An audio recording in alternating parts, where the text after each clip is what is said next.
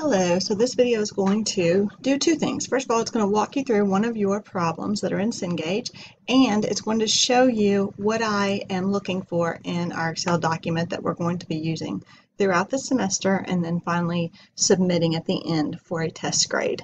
All right, so the first thing I want you to do is to click on to Cengage, and you'll find that link on your course um, right here. So it's the that's the Cengage sign and it's um, Advanced Taxation Fall 2019 Bergeron. So I click on that and it should let you in with a trial if even if you haven't purchased your access code and then it'll require you to purchase the access code soon. So we click on assignments and the one I want to work is in chapter 2 so I'm going to click on chapter 2. It will tell you to start your assignment now and I'm going to scroll down to the I think it's the second to the last problem that I actually want to work. All right, and so you will have done them probably in order because they um, start with the easier concepts and then progressively get harder. So it's helpful to start in order. But for this purpose, I wanted to go to one that would be challenging, so therefore helpful hopefully to you.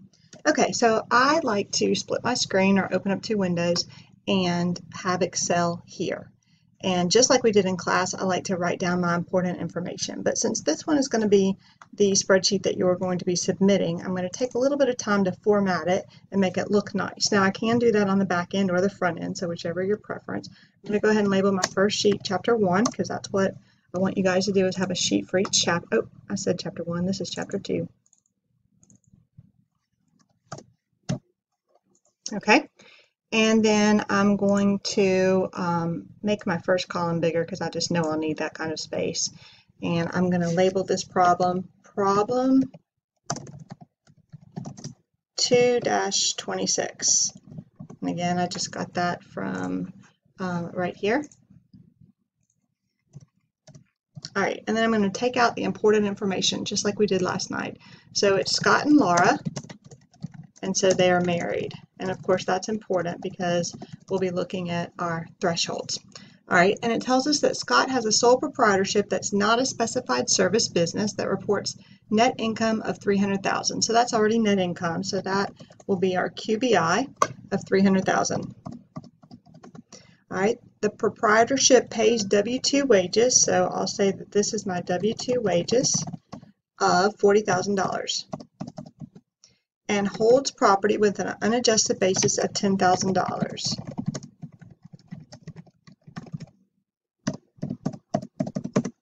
Right, Laura is employed by a local school district. Their taxable income before QBI deduction is 375.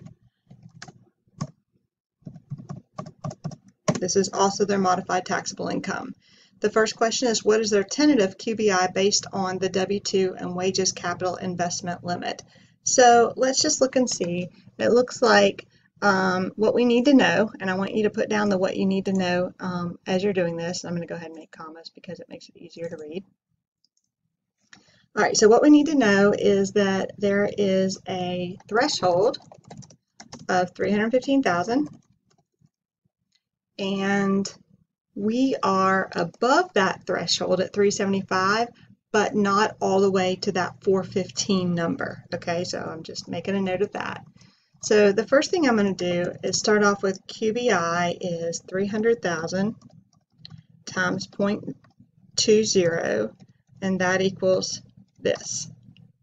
Then because we're in the middle of our 375 but not all the way up to the um, 415 then I need to limit with the W2. So I'm going to say W2 and again, that was 40,000. And the first test is times 50%. So I do that one. And then it's or W2, and that one is going to be 40,000 times 0.25 greater, uh, and then we can add um, the unadjusted basis test, which is 10,000, oops, wrong button I'm pressing, times 0.025, and that is equal to that number. So I add these two, And then when I want to make a note for myself, because I want to remember this when I go back and study, um, that I am now looking for the lesser of 60,000 compared to the greater of either this or this. This is greater, so I'm just going to put this here so I can be thinking about that. And so I'll come down here and explain what I'm doing. I am taking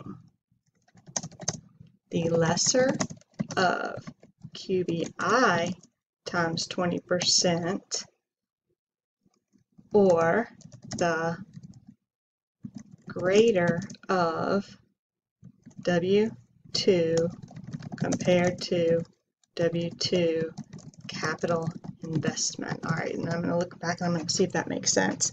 So I'm going to take the lesser of um, this compared to the greater of these, and this is the greater of. So it looks like I am being limited to, so initially I'm limited to $20,000. However, the taxable income is not exceeding 415,000. Therefore, I can use the formula and just reduce my QBI by, and you can look it up in a textbook if you don't remember, but it's by the difference in QBI times 20% and the W2 slash capital investment limitation. Okay, so what are we saying? All right, let's get that difference. So QBI times 20% is equal to 60,000.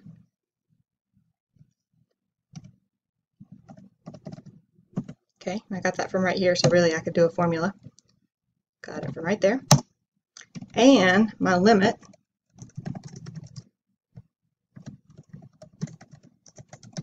Okay, I decided that the greater of these two limitations is 20, so that's it. So then I can say that the difference is that. All right, then reduce my QBI by the formula. So what is that formula? All right, that formula is, let's see, taxable income less threshold amount divided by, for us it's 100,000 because these people are married. All right, so let's plug it in. So my taxable income is 375,000 minus my threshold of 315,000. I'm going to put that in parentheses because I'm about to divide.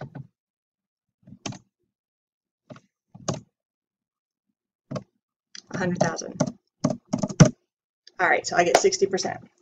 All right, so I'm going to multiply that by my difference that I just calculated right here. So I'm going to say my formula equals 60% and I multiply that by this, I get 24,000. So I want to reduce my QBI deduction, which would have been 60,000, but I need to reduce it by 24,000 so my whole deduction should be this number right here. And I'll go back and add the nice formatting um, after we check our work because we want to stay focused on what we're getting at right now. Okay, so what is the tentative QBI based on W-2 wages capital investment limit? So um, if we had to have that limit, we would have been limited to $20,000. I'm going to check my work and see. All right, but because we were above 375, but below 415, we were able to just subtract out that ratio times by the difference and get to a QBI deduction of 36,000. We got to take in more of it. And I'm going to check my work there. And we got it correct. All right, so let's go back and make this neater because as we do that, it's going to do several things. First of all, it's going to give you practice in making your Excel look nice. Second of all, it is going to reinforce the concepts that you had to apply to this problem so that it wasn't just a one and done kind of problem and you'll remember it better. All right, so this was, I'm going to label this, this was the important information, wasn't it? So if we were looking at it, we'd know, okay, well, we were given all of this information. And then this was something that we needed to know. So threshold, um, the taxable income threshold for married filing jointly is 315,000. And I write all that, first of all, so it's descriptive, and also because you get used to writing that language, so it just flows off your tongue more easily. It becomes more familiar to you. Okay, I like to see my decimals in percentages because it's easier to read. But it's not 3%, that tried to round, so I'm going to add my um, decimal place so that you can see it was actually 2.5%. Okay, so QBI was 60, and then I need to put down here, well, I, I did put it here, take the lesser of QBI times 20% or the greater of the W-2 compared to the W-2 capital investment. So I compared this number and this number to get the greater of, and then I had to take the lesser of that number and the greater of those two. So I think that's written as clearly as I can come up with for this point, um, but it may be that you could actually, um, and I would want to do this probably, um, not required, but you could actually go up here and draw little arrows and then put a little greater than here, and it could become even more clear to you. Okay, so initially I'm limited to 20,000, and notice that was right here. All right, and then, however, the taxable income is not exceeding 415, therefore I can use the formula and reduce my QBI by the difference in QBI times 20 and the W2 investment limitation. So I compared these two and got the difference. So let me go ahead and put something there that makes it look like that. And then the formula is taxable income minus threshold divided by 100,000. And when I do that, I want to have a formula because nobody knows that this little random thing down here was that, right? So I'm going to actually copy that formula because it was a good one. I'm going to put it right here where it belongs. All right. Now I can delete this because it's no longer needed. You know, I like to see my things in percentage, but that's a preference. You can do whatever you like. And so then I apply my formula. So I'll say apply percentage to difference from above. That's when I actually applied it to the 60% to that difference that I got. That's not what I meant to do. It got click happy right there. Um, the difference to what I got right there. All right, and so when I do that, then I say my QBI deduction um, less my limited gives me my actual QBI deduction allowed. We'll call that allowed. And we could call this QBI deduction the initial QBI deduction because that, or we'll call it tentative QBI deduction. But do you see how in doing this you sort of um, get better at the terminology and figure out how to make these distinctions that will help you understand it. All right, and then finally I want to be, um, put everything the same, be consistent. So I'm going to make that have a comma and take out my extra spots and then I'm going to make this fit on one page because you want everything to always be print ready. That's real important to me um, in case somebody wants to print it. So I will say print area, set print area. Then I will say fit to one page and I'll look and see what it's looking like. Make it bigger so I can see it. Um, so I could do some better spacing here and take out some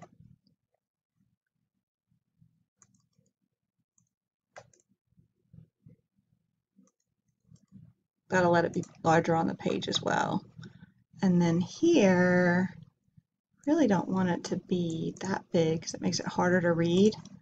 Um, and then you've got a choice here. It'll be a personal choice, but um, one thing that can help sometimes is to wrap that text so that it looks a little bit better. I don't want this to get too long, so I'm not going to play for too much longer, but just some options to think about um, as you're doing this. Um, and then always do another print preview just to see what it's looking like. And there we have it. So let me know if you have any questions. Thanks.